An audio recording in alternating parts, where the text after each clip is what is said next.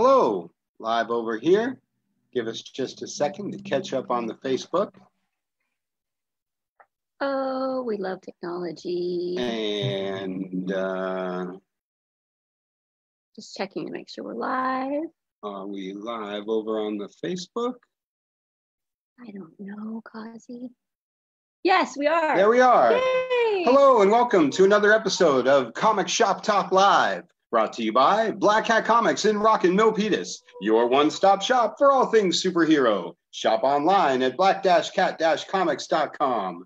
We're here to keep you connected to the comic book community. I'm Mark, I'm Francie. and we're very excited today because we have our uh, first very special guest, local legend and uh, comic book artist Mick Gray. Yay! Welcome, Welcome, Mick. Mick. Do you want to? Very happy to be here. Thank you. We're happy to have you. Um, for those of you on YouTube, we will post a video so you can see his lovely face after the fact. Sorry, we can't do both live at the same time. So we want to welcome legendary local artist, inker, Mick Gray. Thank So- you. So happy to be here with you guys. Mick, you have had quite, quite a career in comics. Going back to 1989, you got your start with SLG and Griffin, and then you moved over to do some Marvel work, and you've been with DC for a long time. You've done your own independent stuff for a long time. You know, anyone who's been reading DC for the last 10 years, chances are you've got a book that's been inked by Mick Gray.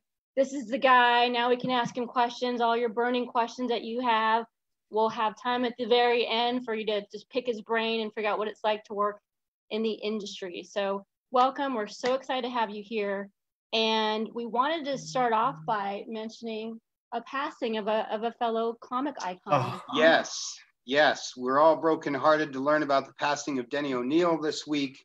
Uh, I think anybody that has read uh, a comic book in their life knows Denny O'Neil, loves Denny O'Neil, is familiar with his work. If for some reason you're watching this and you're not familiar with the work of Denny O'Neill, Google his name, read everything that comes up, uh, and and and and I will change your life. Um, we've had uh, been fortunate enough to meet Denny a couple of times at conventions and things. Uh, I, Mick, do you have personal experiences? Do you have you have stories about Denny? you'd I don't have any real stories of working with him, but he was a gentleman, such a gentleman, and he he knew he knew his stuff so much. You know, the stories that I read about him, you know, you know, bringing on new writers and telling them this is the way I do it, so follow what I tell you. But then he was the type of guy that he gave you the information, and then you as a writer needed it wasn't the only way to do it. He would he would let people be creative and he would go with it, you know, but he would tell you first, this is the way I would do it, you know. And oh man, amazing man, you know. But uh so such a yeah, he had a he had a heck of a career there. Oh, oh man. He Uh, touched I mean, it goes. yeah, he really, you know, touched characters and touched people and uh and got, you know, he got that uh, social commentary going in the 70s pretty heavy too for DC Comics. Yeah, for sure, for sure. That that Green Arrow, Green Lantern Green stuff Arrow, is Green Lantern stuff. some of my favorite stuff. Some of a lot of people's favorite stuff. So He's true.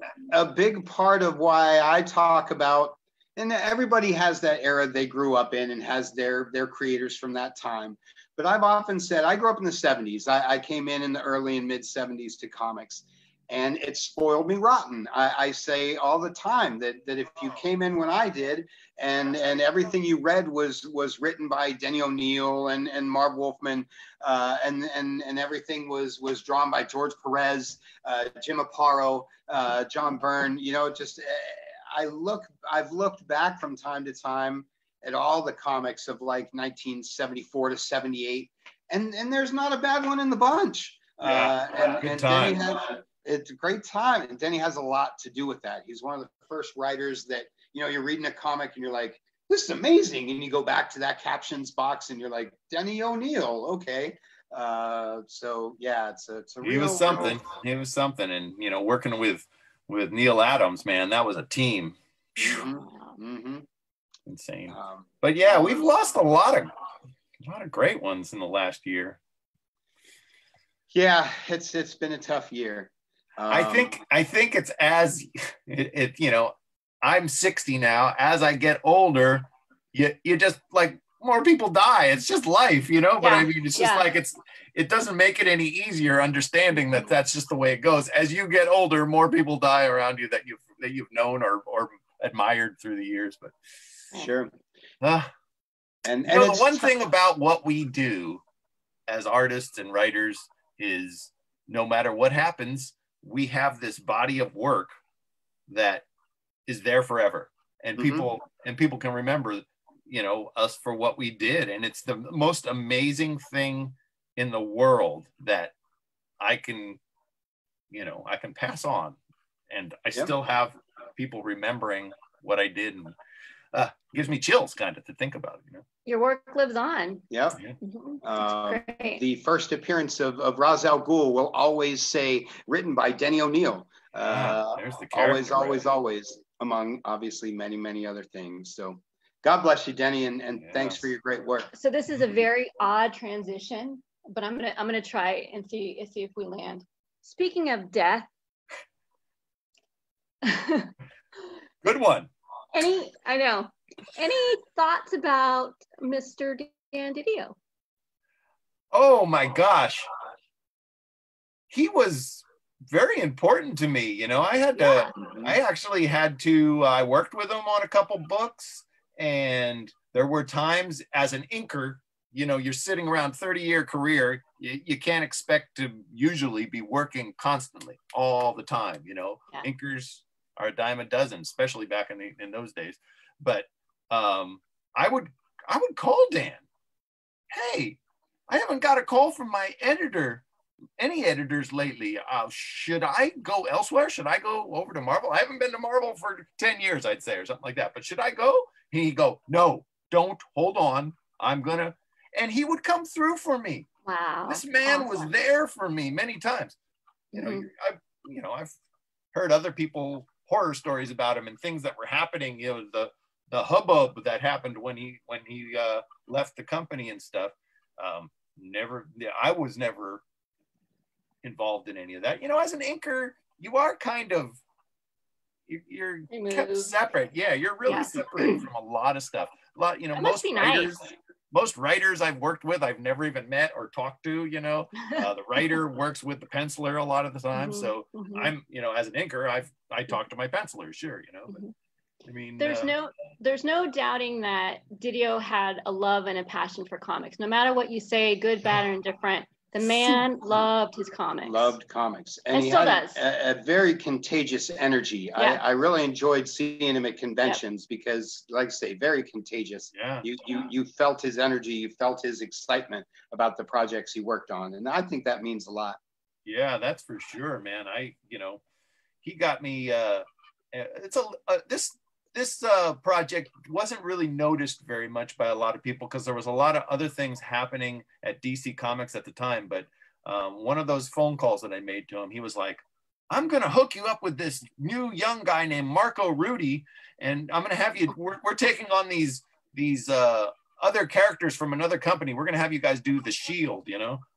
Wow. and I didn't know anything about it, and I didn't know Marco, but Marco was a J.H. Williams fan and kind of was working in that vein, you know, working trying to trying to look like J.H. Williams style. I was like, well, I'm the perfect guy for that. I know the style you're looking for in ink. So Yeah, right. I mean, we did 10 issues of that Shield book, and that was all because of Dan. Dan got me involved in that, and I did it. And it's beautiful. The art's beautiful in that book, you know, but it was just kind of overlooked because there was, you know, some kind of giant crossover happening at DC Comics at the same time, and they didn't even promote the books. But we did 10 issues, you know. yeah. And you brought up J.H. Williams, so we have to mention that you've won an Eisner for the Promethea Award. There Yes, it is. There it is. Awesome. New- Congrats. One of the new editions, they just put out a 20th anniversary edition of that. So that's all in hardcover, beautiful. I don't know how many different editions we've had of Promethea. That's it's crazy how many they've they've made, but uh, this one's a little oversized and looks very nice. Um, but yeah, working working eight years with J.H. Williams Amazing. was a learning experience like you could never imagine. You know, he's like a Mhm. director. You know, he really is. He likes to communicate with all the people. He works with, you know, at that time, Todd Klein lettering and Mhm. Jeremy Cox doing the colors and me inking. And he was working us and telling us how he wanted to see things all that time during that eight years. And there's there's nothing as creative as this was. I mean, this was creativity to the extreme and we Mhm. were Yep. given time to do it too, which is the worst thing about comics is we're generally not given time to do it. This has to be done tomorrow, you know. right, That's what I'm kind of enjoying about my time right now is that I'm not in deadline mode. For the last 30 years, it's been deadline mode every day, you know. Yeah, we were going to ask you about that. How are things going right Oh, now? well, I'm sorry. wait, wait. I gotta, I gotta, Wait. I don't want to leave Promethea just Oh, yet. Oh, yeah. uh, because I loved Promethea, uh, and and I, it was my favorite ABC book, um, and which says a lot because Yeah, ABC there was some had a great lot of great stuff. books. Uh, Tom Strong, on and on, but but I loved Promethea. Yeah. Uh, it particularly for the time that it was coming out. Uh, I was really loving Promethea, and I was really loving Astro City uh, for for a lot of the same reasons. I was reading that, and and not only was it a, were they great books, but they were they were all time great books at a time when when people weren't doing superheroes really well. Quite honestly, obviously, like at any time there was great stuff, but Promethea was one of the best superhero books, one of the best comics out there. Yeah. Uh, and and I kept saying at a time when a lot of people were complaining uh, about this or that, and I'm like, well, then you're not reading Promethea uh, Yeah. because this book is everything comics should be. Well, Uh, yeah, but I mean, you got to admit it is pretty deep stuff. You know, I think it's I think it's the if not the only the, one of the most spiritually uh involved comic books ever, you know, and it's intense and sometimes I have Alan Moore fans come up to me at a convention or something and go, "You know, that's one that I haven't been able to get." And and I'll go, "Well, this book you buy it if you're an Alan Moore fan, you buy it, you put it on yourself, and when your mind is ready for it, it will be there for you. you know? there you go. Which, Because it, it, I always heard it was Alan's, you know, well, we kind of know it's Alan's favorite subject matter, you know, magic and the Kabbalah and all that. He, he that's his thing, you know. So that we got picked to do Alan's favorite subject matter is pretty big honor.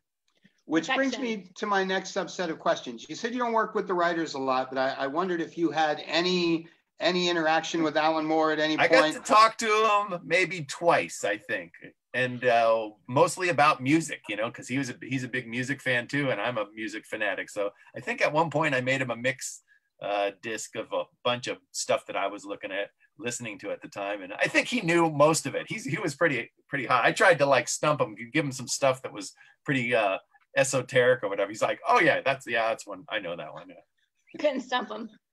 Yeah, I would imagine it would be tough to out esoteric Alan Yeah, Moore. that's true. Yeah, I- I- and I then just- when I went to uh, England in uh, 2018, I kind of was thinking, gosh, I, I got to take this opportunity to maybe have a coffee with him or something.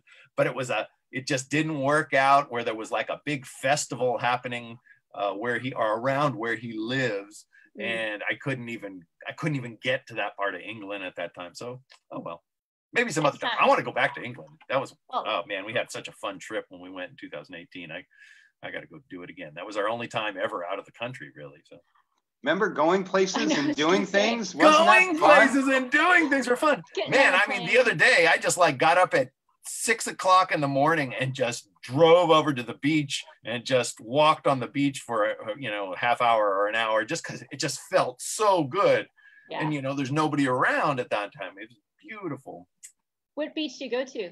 I went to Rio Del Mar, which is just just a little tad south of uh, what is it? Uh, uh, it's right. I can't remember the the, the beach. It's just right. It's a really tiny little area, but it's great because they have parking right on the beach there too. Nice. Nice. So fun, Yeah, we're- but just so nice. Anywhere over there, that's where I want to be. I mean, we're looking at we're looking to move out of San Jose actually right now, and we're looking down at, you know, maybe we'd be we can't we'll never be able to afford living on the coast, but we can be about 10, 15 minutes away, Nice. which Nice. is pretty cool. So That that's where I pretty want to be for the rest of my life is 10 or 15 minutes from the beach. there you go. That's a great aspirational goal. I love that. the the air. The air is therapeutic. Mhm. It is. Yeah. Go over there and breathe it. It's just like Yeah. oh, That's right. Yeah. So we were talking about your hiatus. So Oh, the yeah, last yeah, couple of yeah. months, Yeah. What you what you've been been doing to uh, fill the time? well. working constantly. Yeah, my big projects right now. Oh, Uh, yeah, I'll, I might even I might even show you a little bit of it. Uh-oh. But uh, the one that's the one we just finished is a I I'll, I guess about a year ago when I saw DC comic jobs kind of not being as regular, you know, I was just doing littler stuff. Yeah. I started thinking to myself and I started putting out into the universe. I'm one of those type of people. I want to do more indie stuff and more European style stuff because I love those, Ooh. but I never got to do those ever in my career Yeah. because of DC Comics. Yeah. So I put that out there and immediately I get emails. And the first that email works. I think was from an editor at Heavy Metal Magazine Yes, And- I love heavy metal. and she says, "Would you like to work um, on Peter Townshend's Lifehouse? This is a rock opera that he never got to be able to make, and we're going to do it in a 150-page graphic novel, hardbound graphic novel."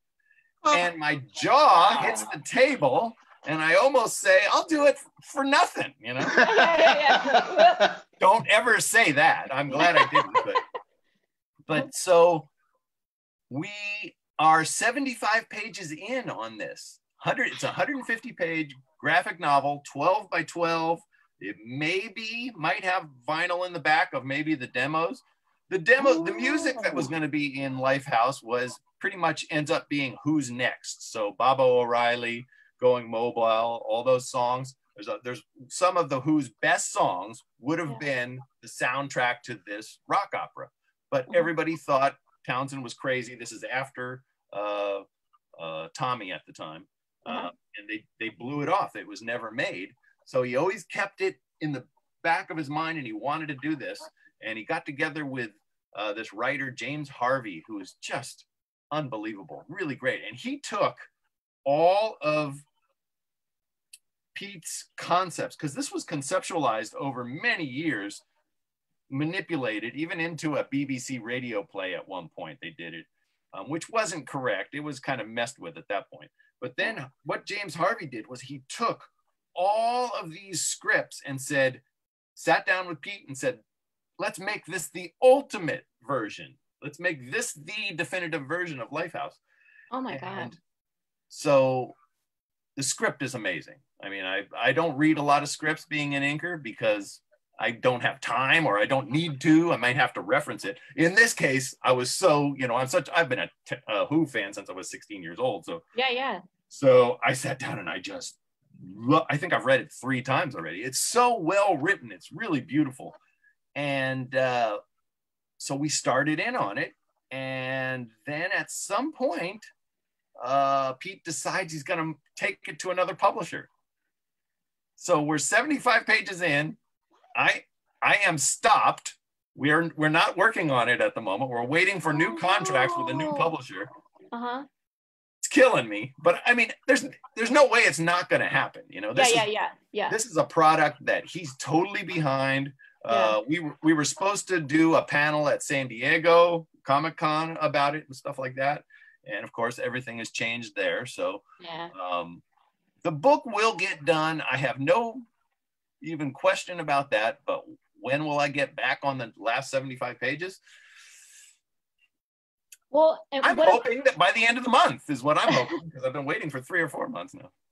And what a perfect like merge of all the things that you love, right? Have Oh. you done something like that where it's music and comics combined? This is it. This is my dream project, Right? you guys. You, if you know anything about Mick Gray, is he's a music fanatic, Music. and if he wasn't in comics, he would have to be working in doing something. I don't know what, but I'd have to be working in music. I'd be, I'd be a record store guy behind the counter at the record store, I guess. But The Like- idea, the idea of getting vinyl in my comic book. Uh, similarly, I'm I'm I'm a huge music guy. I love vinyl records, and uh, and and the So- idea of having like a seven inch tucked Yeah. inside my comic that I could play while I read the book. It's just Exactly. the, the coolest thing I could think of. my my dream is and i hope pete's dream too i still haven't been able to talk to pete because he's busy but i hopefully one day i get to meet him um, the dream is our 150 page graphic novel is the thing that makes the hollywood movie happen Yeah. Oh, Yep. nice. Yeah. because this thing as i work on it and i read it and i listen to the music i see you know like a pete townshend version of andrew lloyd webber's evita or whatever you know this is this is epic this thing is epic and maybe it the, subject matter didn't really fit in in 1972 or whatever but now it it works you know Relevant. the Uh-huh. government has taken over they've taken music away from everybody they're controlling everybody through a internet pete townshend kind of talked about the internet in 1972 in his story so you can kind of say he was prophetic there but Wow, fascinating. Well, I can't wait to see it. I hope it comes out this year. Yeah oh Early next year. we're you know like i say if we get it uh, back on it by the end of the month we're going to be jamming at that point um, at one point uh, the first 30 or 40 pages are drawn by um, James Harvey, the writer.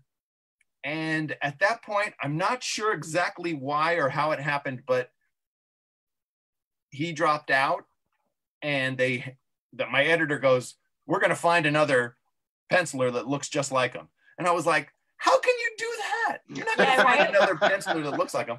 But Yeah, they That never found works.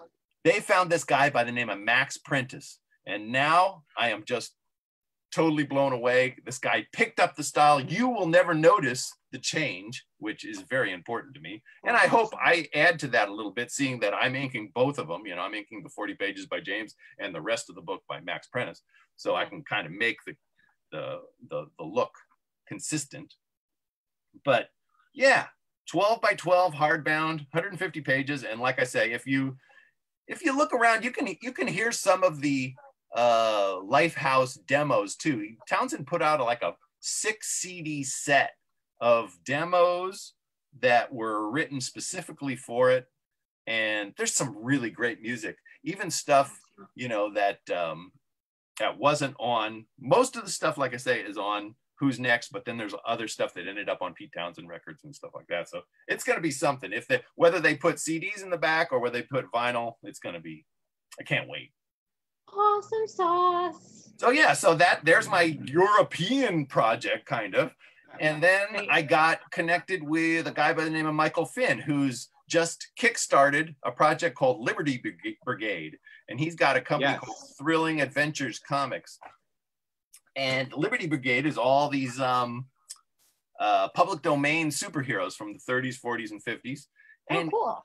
and Michael Finn knows everybody in the business. So this is a superstar who's who of comics. And this one's a hundred and hundred, uh, maybe more than hundred pages, hardcover, volume one. There's going to be more, um, but the majority of it, or a good chunk of it, is me and Barry Kitson.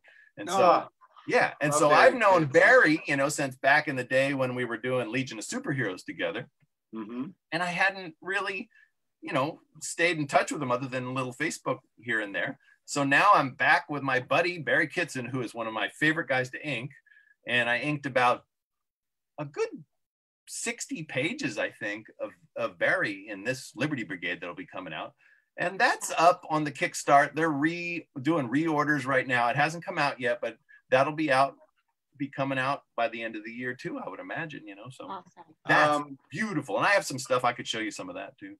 Well, yeah, yeah, Why yeah. do I think Mark Waid has something to do with that? Yes, Mark Waid, because Mark Waid it was our we've known Barry and Mark Mark have known each other forever and ever, and he was the writer on the Legion of Superheroes stuff, and Mark is editing this all.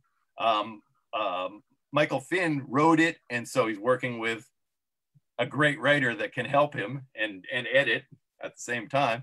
So it's it's pretty high end. There's all sorts of uh, little uh, secret origin pages done by different people. There's little stories. George Perez, you know, I mean, just like there's everybody in this in this thing. It's wow. crazy. So I I was so blown away that I got these two projects, and uh, we've fin like I say, I finished my part. He's just putting together. Uh, get the, the colorist on a lot of it is Chris Sotomayor, and he's doing an amazing job at that. Mhm. Um, and so a little indie project, uh, actually a gigantic indie project, and this gigantic European slash rock and roll project. I, 60 years old, not working for DC. Oh well, I'm happy. There you go. I mean, how awesome is that though? Like your first cast out of the net and, and you get Pete Townshend. Come on. I don't know how so I don't know how that happened. And the neatest Because thing you're a about legend. That's how. yeah, well, I, I you know you got to once you get a name in the business, I think that helps a little bit. Mhm. But Sure. we have an editor that I'm so blessed to have. She was with uh, heavy metal, and then when this all happened, she decided to go freelance and move with us to this new project. So Right. at least I have a connection. I wouldn't have known what was going on, so I can at least email email my my editor once every few weeks and go. So where are we? Are we getting close? Yes, the Mhm, mhm. you're getting closer and uh, we're getting contracts soon so be ready so yeah. I yeah i mean like i say i'm not worried about it be, even though it's been three four months since we've worked on it but i mean it, it, it we know what's going on in the world. And you can at least say that townshend's got more time to uh, deal with this right now. He ain't touring you know so Yeah. he's got time to deal with it you know so. It's true. That's true. so i'm sure we'll get a great new publisher but uh, we'll see where it goes. Fingers crossed Um, while we're talking about things you're working on and uh, the music comics combo, uh, why don't you tell us a little bit about Deep, deep Cut? cut. Deep cut. Oh yeah, Cut well, podcast. about two years ago, almost three years ago, I started making uh, interview podcasts with artists that I've met over the years. Being a comic book artist and a music fan is it's a great way to meet musicians because I'll go to a show, or at least I used to go to shows, and I'd bring a book and I'd go, hey, here's a book. You like comic books? Oh, all musicians love comic books. And so we kinda talk. true, I get huh? to meet them. it's a really great connection. It's a really great connection. Mhm. Art versus art. Art meets art. Yep. And uh, so I met a lot of musicians. So now I have this great list of people that I can call up and interview and make really nice. There, there's about 10 of them up on YouTube right now. YouTube's not the best home. I got to find a better podcast home. But um, what I do is I I interview them, kind of talking a lot of the time about their an overview of their career, and in between, as we talk about songs and albums, I intersperse clips of songs throughout. That's what YouTube doesn't like is when I'm using songs, Oh, the copyright thing. But Yeah. I'm doing it with the artist. So sometimes they break, they take me down, but I just put it back up again, and they don't bother me for a while again. So, so uh, where I've interviewed everybody so far, uh, from uh, Willie Nelson's son, Micah Nelson, who's a Oh, great yeah. musician on his own, Uh-huh. to uh, Boots Riley from Oakland, a really great rapper Mm-hmm. and is uh, now a director and uh, doing has won some awards for movies he's made. Um, and who else? My favorite guitarist, uh, the Zelig of Rock and Roll, Mr. Chris Spedding. and He's is one of my uh, um, interviews, and I just got done with uh, a guy by the name of Jon Langford. He he's uh, one of the uh, ri- he's the original originator of the band the Mekons, who are one of the first punk bands from England about 1976. And now he just does three million different bands. Now he's just all over. He lives in Chicago now, and so Wow. such a really uh, really interesting guy and one of my favorite people in the world. So I just sat down and interviewed him, and this is the first one in that I've done in two years. The first, the ten that are up were done two years ago, and I just got everything got in the way, and I wasn't able to do anymore. But now I'm starting to gear up because think about it: what's a better time to interview musicians than right now? Yeah, they're sitting all at around; they can't tour, you know. So yeah, I'm going to be doing probably a lot of them in the next couple weeks if I can. And then my I have a great producer that takes what I do is I record it, I send him over the file, and then I listen to first I listen to the file and I go, okay, I want to I want a song at two minutes, 30 seconds. I want a song at four minutes, five seconds. And then and give me two minutes of the song in between. I just tell him what I want and he puts it all together. Boom. Super, really, really good. That's great So. I'm really happy to be and pleased to be working with a guy that that knows what he's doing there because I I Mhm. wouldn't be able to do it. So that's you- the Deep Cut podcast, and it's uh it's just a gas because uh, I just love talking about music with artists, and that's my thing. and what's the handle? How can people find it? Um, if you just go to YouTube and go and put in the Deep Cut, the Deep Cut podcast, it'll bring up my page there. The Deep Cut Podcast. Okay, great. Will do.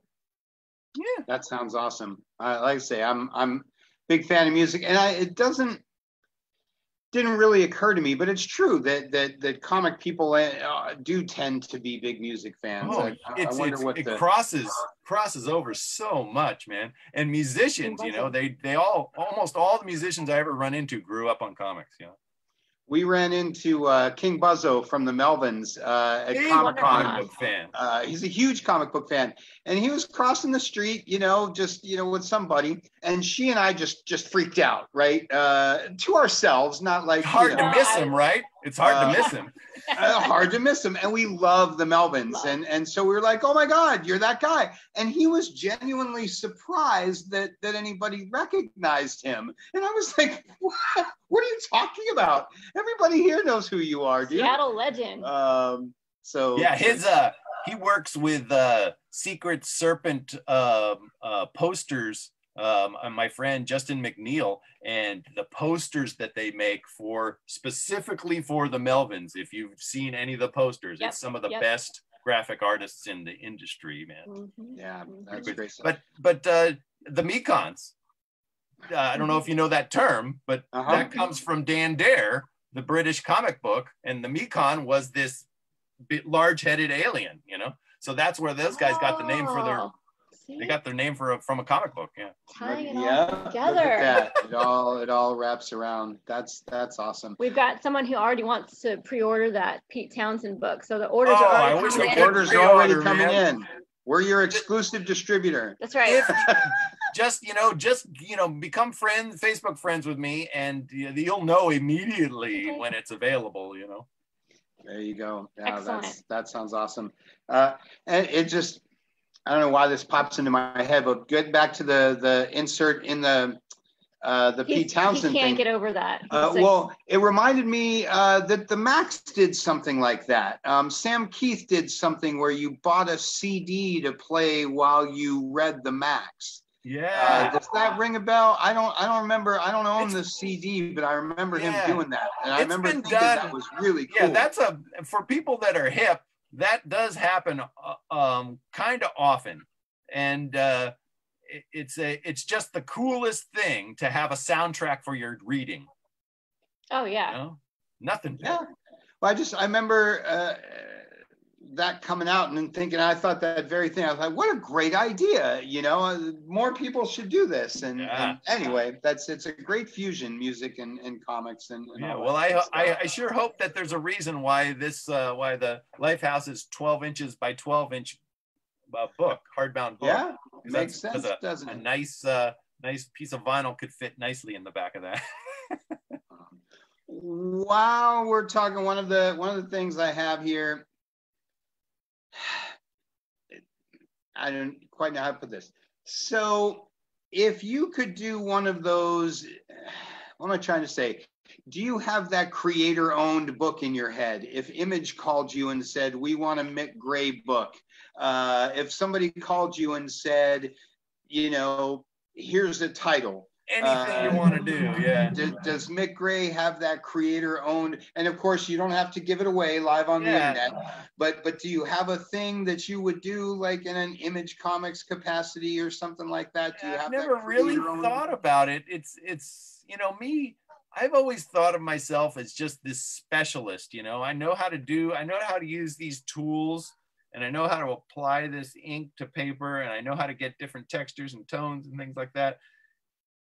And I've always just thought of myself as a specialist. So I've never thought about doing my own project other than you know in 2009 when i started working at the academy of art i got enough uh, inspiration to do my own children's book albie mouse Right. um, but after i did that it was such a uh, that was such a terrible time to do it i couldn't even find a publisher so i had to publish it myself and i'm happy i did it but would i ever do it again Very i do not know i do not know and and i know i don't to answer your question i, I really don't have any concepts that i think about because I love working with other guys that do, you know, that that blows me away so much. I guess I'm I guess I'm just a lifelong inker. There's nothing wrong with that, sir. There's nothing wrong with that at all. In fact, that's kind of a segue to my next thing. Because being a, first of all, everybody knows, much like music, uh, though music doesn't have to be this, comics is hugely collaborative. Uh, there's, you know, uh, writer artist, right? Writer penciler. Uh, generally speaking, there's always at least three people working on your comic. Yeah. Uh, uh, well, I say, so anyway, it's a collaborative thing. Editor. Um, so you're someone with a with a lengthy career with some of the the coolest, biggest names in comics. Uh, what makes a good collaboration uh, for you? Like, what do you what what makes the relationship work for you? And who's one of your favorite people to uh, to work with? Oh man, I have so yeah, I worked with, you know, Ryan Sook, Barry Kitson, J.H. Williams, Pat Gleason, you know, Cary Nord, uh, you know, uh, uh, Lee Bermejo, you know, there's been so many great guys. I think I have the, I think I have the best lineup of fantastic artists I could think of. And the king, don't forget the king. Yeah, I've even roundabout worked with Jack Kirby and and and inked Steve Ditko, and you know, I mean, Dude. it's it, it's insane. The um, I just inked on on Liberty Brigade. I inked a page of Ram- Ramona Fradon, Oh. She's 93 one of my years old and still going, just rocking it. You know, God love her. That's awesome. so those kind of they're they're these amazing honors, you know, to to work with any of these guys. But the thing that makes it all work the best is when I'm always uh, concerned when I when I work with a new penciler, and I'm always like tentative, and I'm like, gosh, I sure hope this fits. I hope I'm the right guy. And then when I get that phone call, and they go, "That's exactly what I'm looking for. That's it," and I then you go, oh, and you're like creativity and and uh, confidence goes through the roof. Then the lines get even better because I'm not worried anymore. I know that I'm doing the right what they want to see. You know, so that is the best moment when when the artist goes, you know, this is what I'm looking for. And my whole in my mind, being an inker, is getting in inside their mind a little bit. And, may, and these days with the internet it's really not getting inside their mind. It's just going to look at their body of work on the internet and going Yeah. this is where they look the best. In the old days we couldn't do that. We had to run down to your guys store and start pillaging through your comic books to look at them Right. but now i can go oh ryan sook i wonder what he what how he looks good. And i can just look through all of his work on the internet and go okay this is the way he looks the best you know and Mhm. and then it, it, it it's just me trying to be a chameleon a little bit and trying to be what what do they want to look like? It's not to me it's not what i want them to look like it's what mm-hmm. they want to look like you know? Because they started this this piece of art and i'm just making it maybe a little bit more presentable and ready to be printed you know or ready for the colorist. The other thing i got to think about a lot too is i got to i, I want to think about the colorist so they they can understand oh okay i see a light source there i see where the light's coming from and then that colorist can nail that too. You don't want the colorist being com- confused about it you know? And so I would, I, mean my that's my job is to make make you know the, the work look presentable for him so he knows what he's going to do and make that penciler happy. I would think that's got to be so hard to kind of adapt to different artist styles. Book that's the book that is book. i think the most fun part of my job is the talent. you know, talent.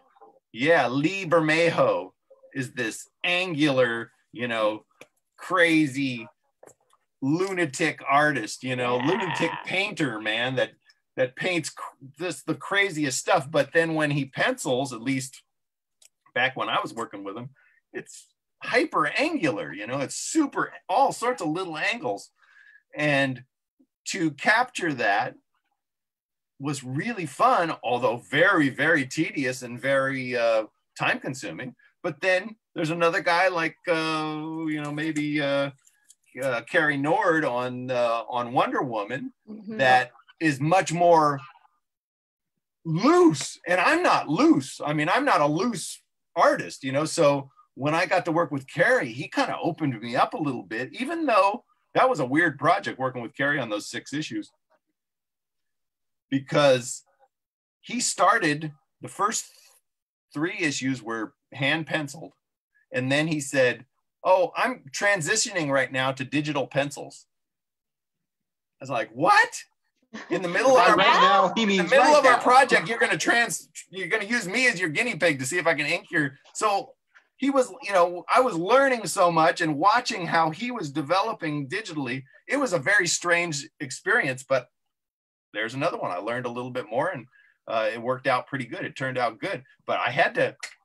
I really had to be a little looser on that stuff because it was, at least it was loose in a bold fashion. You know, it's not like like if I had to ink, let's say, uh, um, Frank Miller, I don't think that would work. I wouldn't be able to ink Frank Miller really. That's a different feel, a different style. Um, you know, just you know, probably not right for me. There's there's certain guys I'm not right for, but that one was a great one. I was able to go in a direction that he wanted to go. So it's it is that's really fun, but uh, like I say, there's certain guys that that I, that I've turned down. You know, people come to me, and a lot, most editors that are smart, they're not even going to offer me certain stuff. That's just like that's not what he does. You know. So, mm-hmm. Mm-hmm. I don't know. I, I, I, as you describe Bermejo and Nord, that's two very different art styles that you were able to, to tackle Very pretty well. As, as you were describing that, I, I thought, well, that's quite a range, you Yeah. know, if, if you can, if you can work with those two and somewhere in the middle, I, I don't, I don't know. I don't know Yeah, what I love- I hope that I can go down in history as an inker that that nobody can tell I'm working on that book. I want I always want people to go, that's Cary Nord or that's Lee Bermejo. You know, that's the biggest honor and compliment to me that I'm not showing through. It's them showing through, and I'm making that happen. You know, so you know, I love a Terry Austin. Terry Austin is an amazing inker, Don't but we all? he- but Terry Austin put Terry Austin on it. You know, he when you look at work, you can go that that's Terry Austin. You know, Yeah. that's what he I- did. I bug her. I irritate her all the time talking about the difference between a John Byrne inked John Byrne and a Terry Austin inked John Byrne. Yeah. Yeah, that's I- the eye rolling sigh. I'm Yeah, very familiar with. Personally, personally, I like everything by John Byrne inked by other people. I, Yes, and I love Byrne. I I love, Byrne, too, but I Uh, just don't like him inking himself. But I think we're yeah. I think most of his fans, strangely, are in that camp. Yeah. of uh, and that's part of where the conversation begins with where I be- bore her to death is I was like yeah and, and you know I love Byrne but I don't Yeah. like it when he inks his own stuff I always, like when- I always loved Karl Kesel over him too, man. Karl Oh. Kesel inking him, just Yeah. that was some of my favorite He's stuff. another great inker So I'm looking at some questions we've got for you, and we've Okay. got a huge Jack Kirby fan. So if there's anything more you can noodle out from that experience to share, My- that would be great. my my favorite Jack Kirby um, are the first time I ever got to meet him down in San Diego, and I'm there with Dan Vado um, on the floor before it's open. You know, you get you, when Yeah. you go in with the retailers, you can go in and set up, right? So I'd be in there with Slave Labor Graphics, and that's about 1990.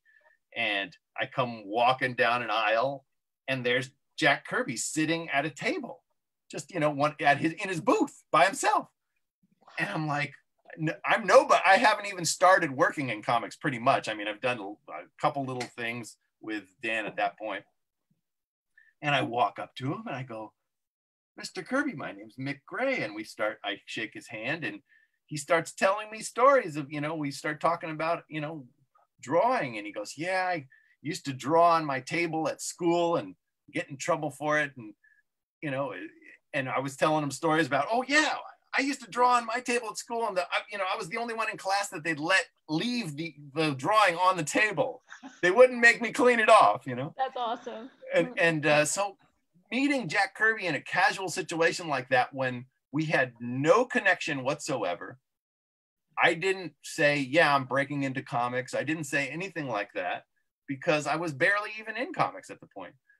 But he was the most wonderful person. And I think this is something that everybody will ever say about Jack Kirby is he was the most wonderful, welcoming guy ever. You know, I know many people that are art collectors that went to Jack and Roz's house and had sandwiches with them.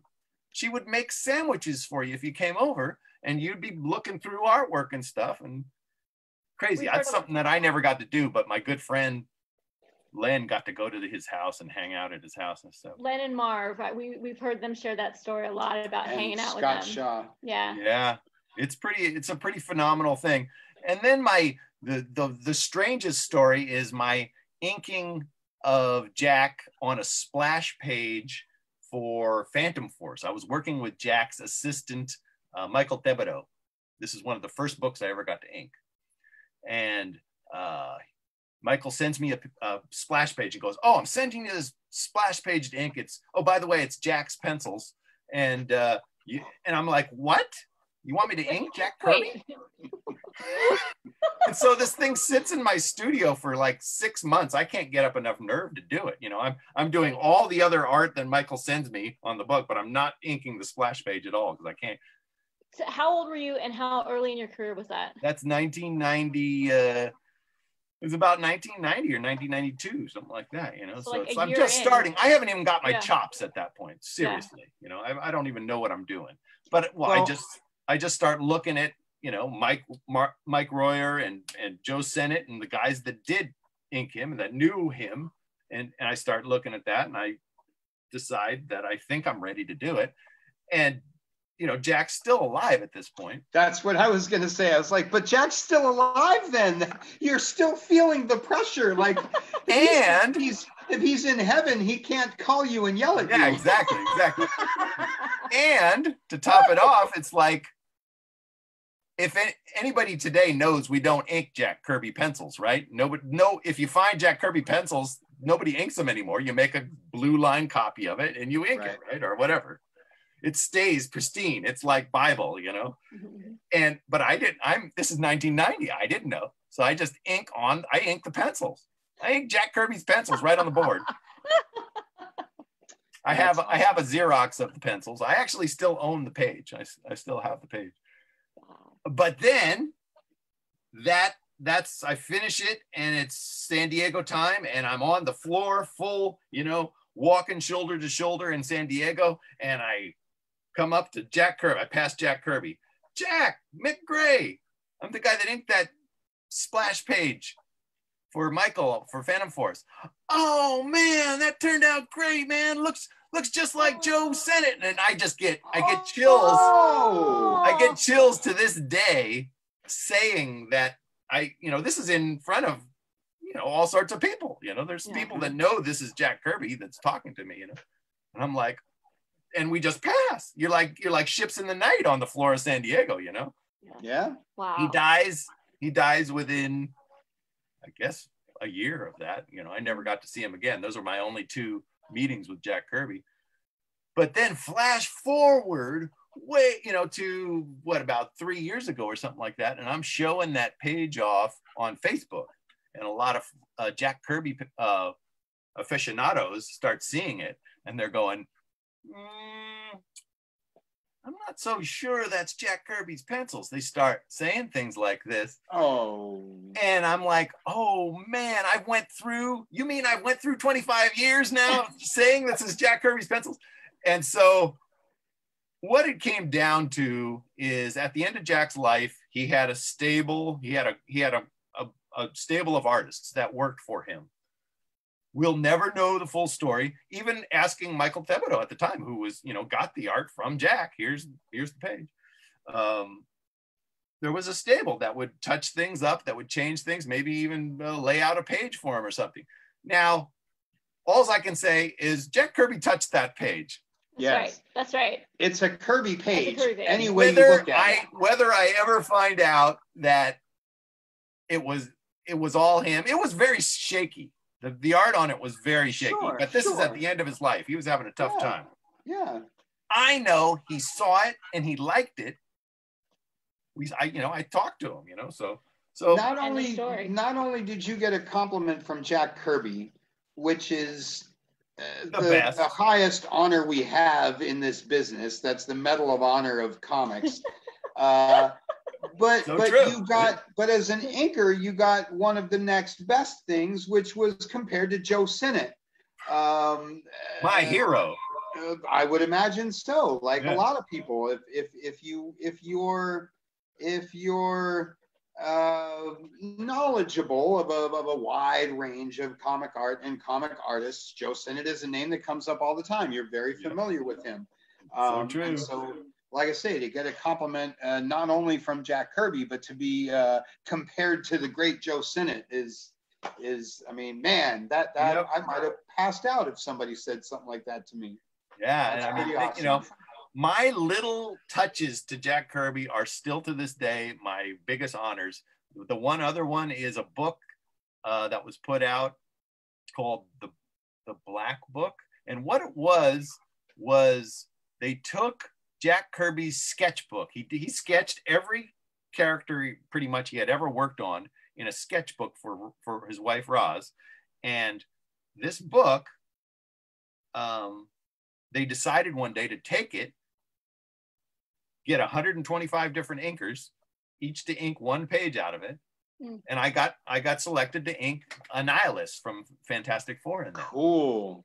And that I still own that art too. You know, these are pieces of art that are so important to me. I, I could never sell them, you know.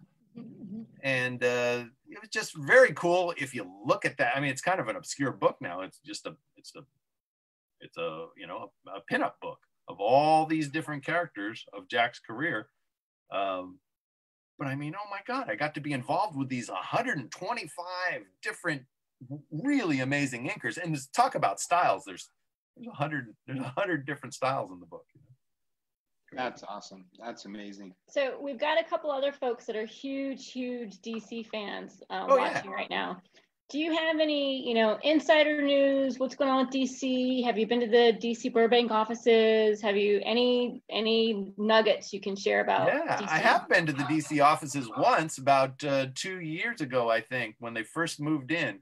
Really nice digs, man. They, I mean, I I went to the New York offices too back in the day, and that was Mhm. cool. But uh, this one, this is, you know, a really nice office. Do they bring the vault? Is the vault in Burbank? Yes, the vault's there. And you know, when I went down, they didn't bring me in the vault, but I know friends of mine that have went into the vault. Yeah. They wouldn't let you in the vault. Come on, you're yeah, Mick Gray. I mean, I have, I well, we, I guess maybe if I would have asked, but I didn't ask. But I have, I see pictures of my friends, you know, other other professionals holding, you know, action number one, you know, in the vault. I'm like, what? What? Where's my turn?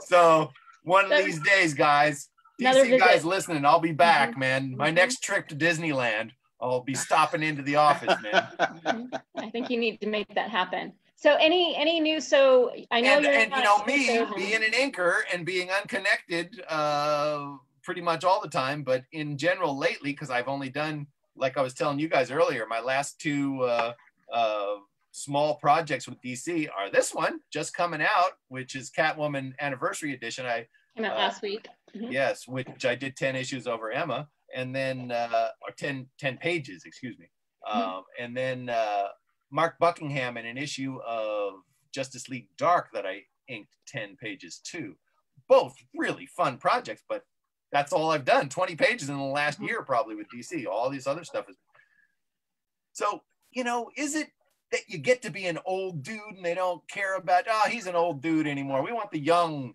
young No. whippersnapper inkers I don't know. No. I don't know. Well, I do I wonder- still, I do still have really great editorial connections with the I company, was gonna ask. and they yeah. they email me on a regular basis, and they they ask me if I'm available. And I've been turning down projects lately because I don't know when I'm going to get back on the Lifehouse. So Mhm. you know what Murphy's Law says if you take on a 20 page book or multi issue project, the Lifehouse stuff falls in tomorrow, you know? Yeah. So Yeah. I'm financially okay where I can just say, guys, this is what I'm working on. You do understand that this is the biggest, coolest project I've ever worked on. I don't want anything in the way. Thank you for calling me. I feel I feel honored and a little bit assured that you're not forgetting about me because you keep calling me. So so as long as editors call you, that's all you want. That's true. Even if you're turning them down. A lot of editors appreciate somebody that turns them down because they know that you're not taking too much on and then going to give them a hard time when the deadline hits. Oh, sorry, I was working on my other project because I couldn't Right, get yours done. right.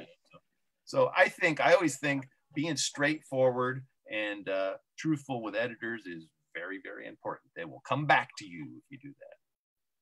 Honest and straightforward. That's an interesting professional model. Um, so That's such a good thing. Truth, Truth, so if anyone justice, wants- the American justice, way. the American way. That's right. We're big fans of that. if anybody wants to post some questions, we can get to them in a few moments. Are you reading anything current? Are you uh, are you caught up on on anything? Is there a book right now that you're nuts about? I am not reading anything. I'm so I feel so stupid that I can that I say that, but I know my one of the coolest books I've bought lately is uh, Andrew Farago, uh, create a curator of the Cartoon Art Museum, put out a history, a definitive history of Batman. That's about Oh, it, it's it's gigantic. It's a coffee table book this thick, and it's Oh one of the God. coolest definitive books ever.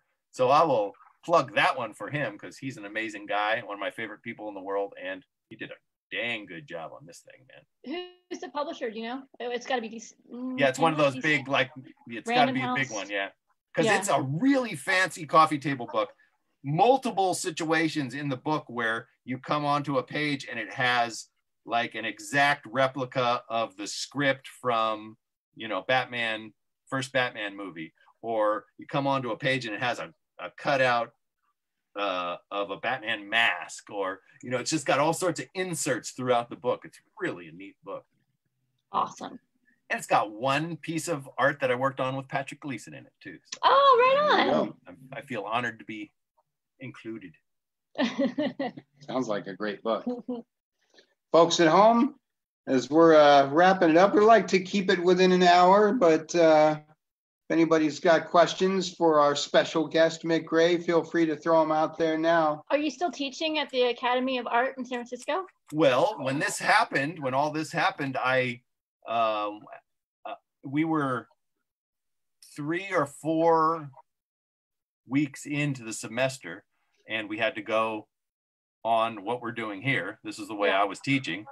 Yeah. um, and it was a learning process for everybody and and the students you know they're doing their best but they you could tell they're you know they this isn't what we signed up for we we signed up for having me over your shoulder watching you use the brush and oh leave move your hand a little bit different way hold that a little different way. I can't do that you know? Mm-mm. and so we manipulated the course to to work and we got through it. I think they were semi happy with it but uh, where that goes from here no uh, no classes for the summer at the academy of art but uh, we will see if i'm teaching in the fall really what don't know courses?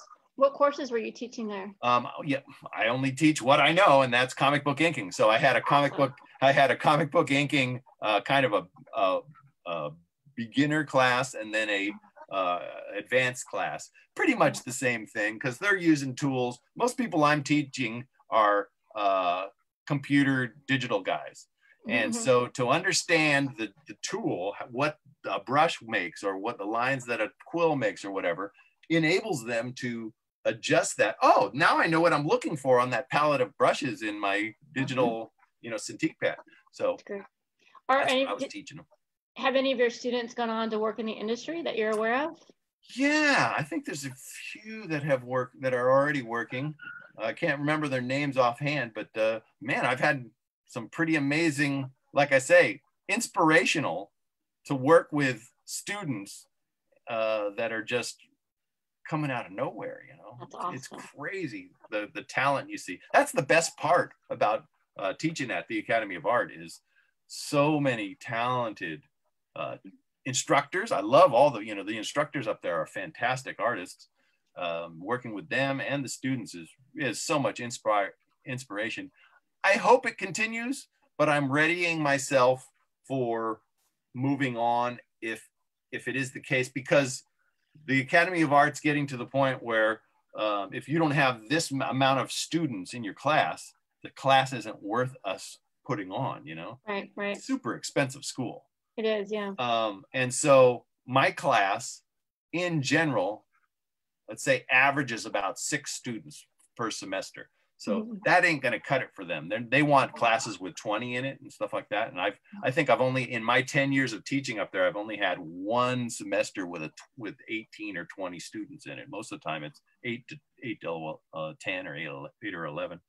Do you, do you think that's an indication of like people's interest in comics and being in the industry, or do you think it's just what do you what do you think that's attributed to? Yeah, it's kind of tough to say. I mean, uh, maybe they're moving in different directions, or, or you know, I mean, the my I don't really maybe my class not having a lot of people, which I always liked. I always liked. yeah. I, I I didn't More like those classes with twenty. That's that's Yeah. too large. I love Yeah. teaching with six others, you know, students.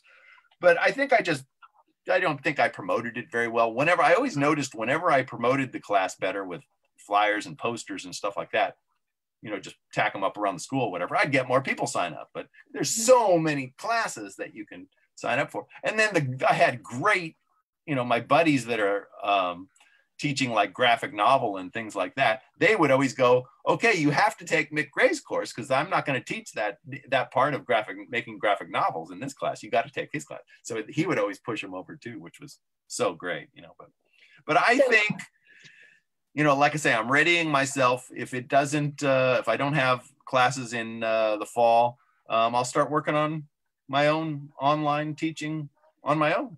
Oh, good for you. That'd be amazing. I amazing. it. That would be amazing. I We well, you let us know and we'll promote the heck out of it. 'cause Thank we've got you. That's what a you lot of- we well, we've got such a, a lot of aspiring, you know, artists and writers here. You know, Yeah, I run into a- fans, Yeah, I run into a lot of people that go, "Hey, can I take you know your course up at the Academy of Art?" And I go, "Well, it's so expensive. You know, you I think they charge like three thousand dollars to take my course at the Academy of Art or something like that."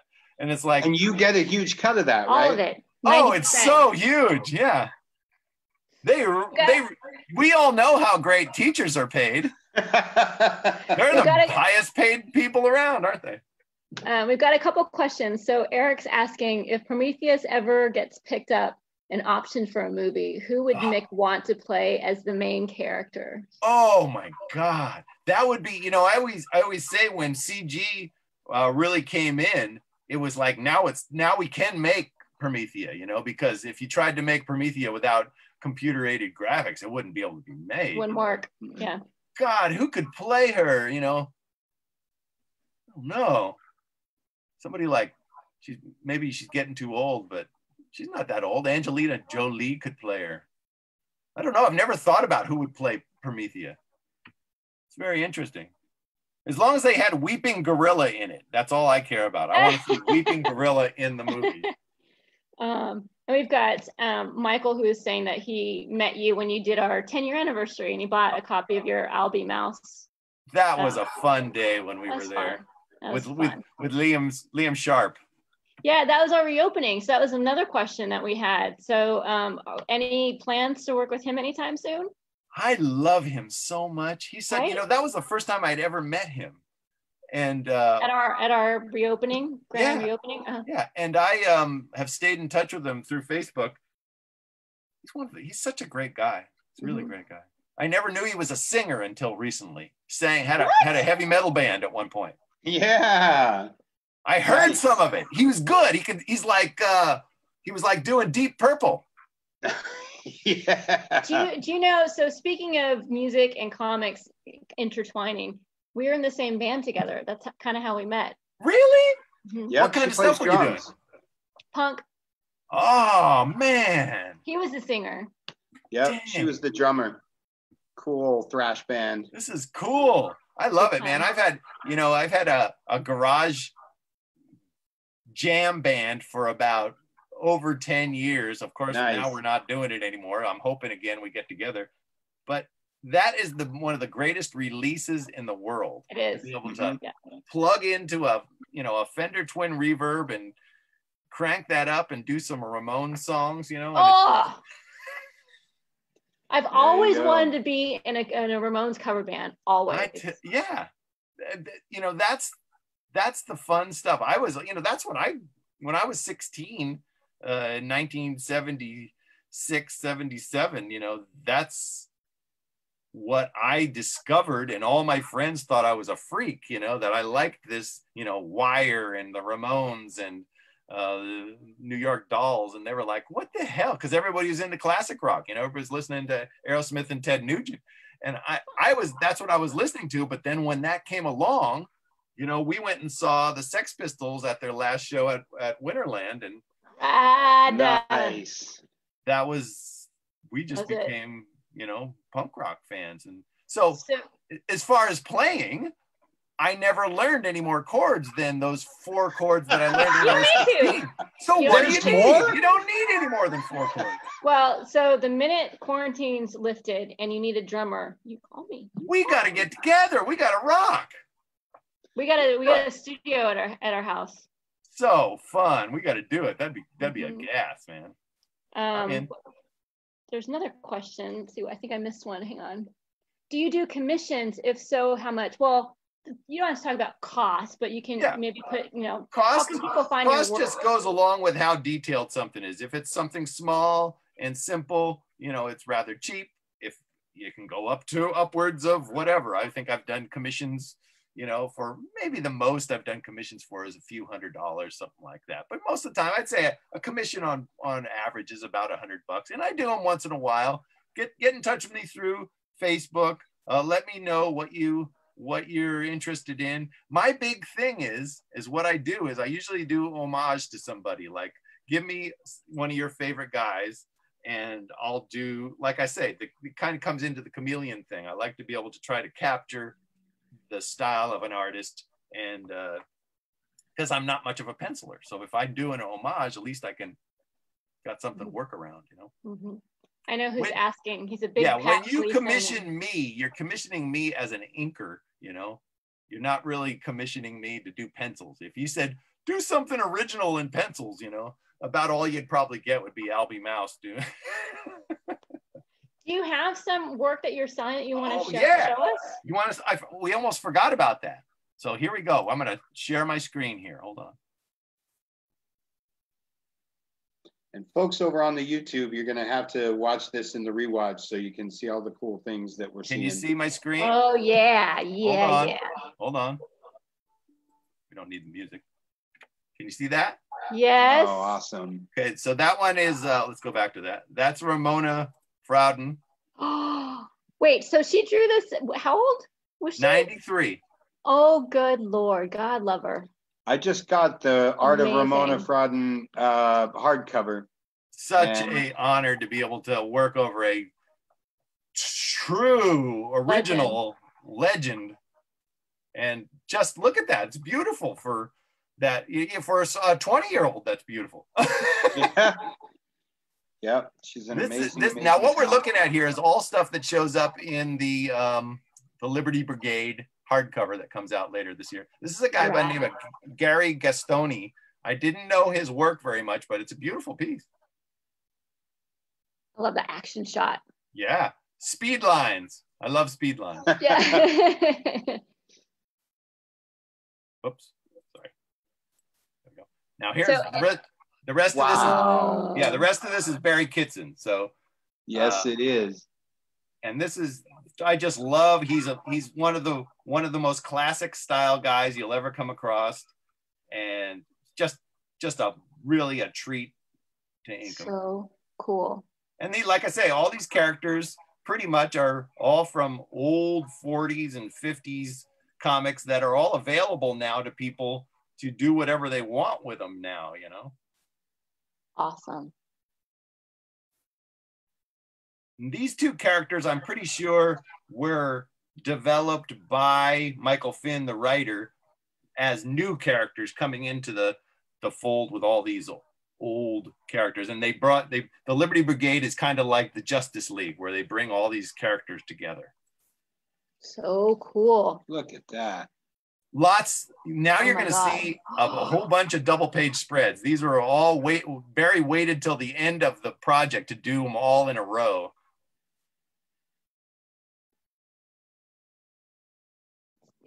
That's the uh the aviators. We're, we're on Facebook too right now if you want to see it, but we'll post it all live after the fact. Sorry, guys, on YouTube. So these are Oh just my so God. Fun doing these giant fight scenes with 300 different characters. It's just such a blast. How long does it take you to do a page like this? They these I was taking my time on these because we weren't rushed. So I Yeah. was like I was like working on them, you know, maybe three four days a piece. But generally, when you do something and you're in a dead, deadline, you better do one page a day, or a double page spread might shouldn't take you any longer than two days, I would think. Oh. And there's uh there's Oh, Chris's Chris's colors. So this being cool. you know that classic stuff he's going nice and bright but he does a beautiful job with it i love the way he's coloring this stuff Mhm. So rad. Neat. it's a lot of fun it's a lot It of fun. looks like a lot of fun. so many so many completely insane crazy 40s characters you know DC. No, it's No. no non. Yeah. There were dozens of publishers back then. oh yeah they were just all over the place man Awesome. so there you Love, go love, love. love. Yeah, that's a ton of work. That that's exciting stuff. Thank you for it- sharing it- that with it us. is really really fun like i say to be connected back up with barry barry's like so busy and he's so fast. He can work really really fast. He's constantly doing commissions and stuff for people. That's a guy that does commissions tons of them but uh, now that i'm connected back up with him i'm hoping that uh, we'll be working a little bit more together in the near future on other projects you know because he likes he's a guy that is the neatest thing about barry kitson is he's an amazing inker an amazing inker Mm, and he likes what I do. So I mean, mhm. if I can make him happy inking him, I I got to be doing something right, you know. That's awesome. Yeah. Wonderful. Looked like a ton of fun. Wonderful. There's another new new compilation that just came out, the Superboy What? Look at that. celebration of 75 years of Super Superboy, and it goes all over the place from way way back, you know, way back stuff, Uh, yeah. and then they end up with. Uh, um,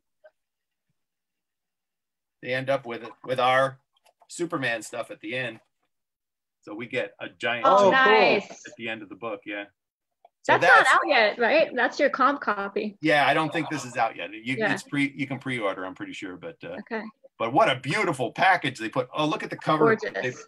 I, I always love the way they put uh, different covers Nice. on. Look at that, really cool. Awesome. Yep. But yeah, that's it. You know, that's what I love the most about DC is they're really good at keeping things in print.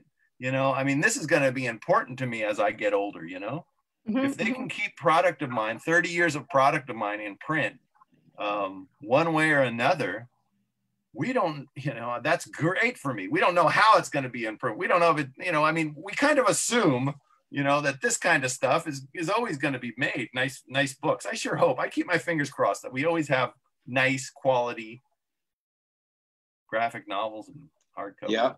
High production value stuff is really cool. All those Stuff anniversary ones have been like that. Not digital stuff in our No. hands. Quality stuff. Where is it all going? We don't know. So much change is happening lately. Yeah, but we're uh, we're rolling with it, moving and shaking, doing what I'm we got to do. To, You guys Keep are the positive coming. people. I love it. I love you keep making them, and we'll keep selling them, That's as my man Joe Ferreira That's likes right. to say. Joe. I love Joe. He's one of the best guys in the world, man. Yes, he is. Uh, Just, Mick, I we- think I stopped into his shop a couple weeks before everything happened. I hadn't seen him for a while, and me and Holly were over looking at a house in Santa Cruz, and we said, "Let's stop in and say hi to Joe." And so we were over there talking with him for a little while. What a great guy. He's great. Yep. He's amazing. That's He's uh, our mentor. That he's who we called when we were thinking about opening up a retail shop. So we called him first, and he helped us steer the wa- the waters. He actually is- told us about Brian. We we didn't know that the shop was for sale. He put us in touch. So he we have him to thank for all of this. Yeah, he's he's Yep. the he's one of the perfect people to mentor retailers. Him and Joe Fields, those two guys. Yep, yep. We talk Yep. to those guys a lot. You know, we've been here almost. This is our 18th year. We're doing our 18th uh, anniversary here in a few weeks. Wow. Uh, but I'm still learning. Uh, I'm I'm still, and compared to the two Joes, I still feel like the new guy. Uh, I, Oh, I'm, because we are. I'm calling them up all the time, being like, you know, I don't understand. I don't understand. what are we and supposed to do? you know, and they have, of course, you know, well, back in '85, this when this happened, and uh, oh, this one time in '92, and all like that. So a wealth of knowledge. yeah, for the We for gotta folks have them. We all need mentors.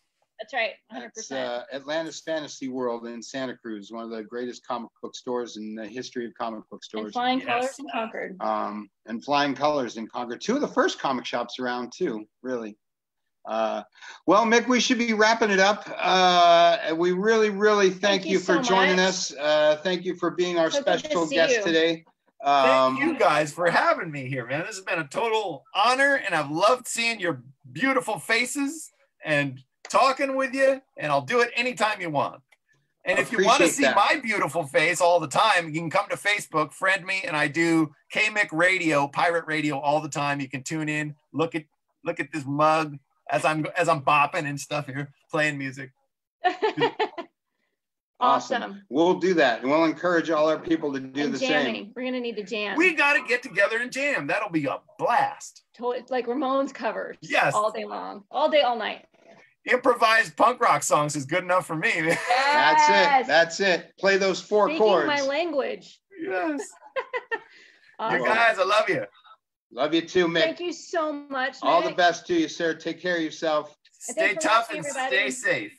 You, you too. too. See you later. Thanks for watching. Sure thing.